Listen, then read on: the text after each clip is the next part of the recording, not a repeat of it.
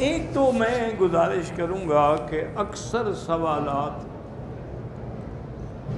जो मौलाना तारिक जमील साहब मद्दू के बारे में होते हैं, मुझसे पूछे जाते हैं, ये बात गलत है।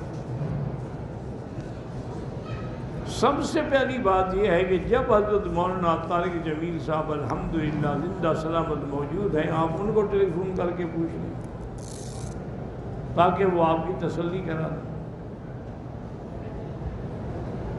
तो इसलिए ये कोई अच्छी बात नहीं होती है कि मैं उनके बारे में किसी राय का इजहार करूँ।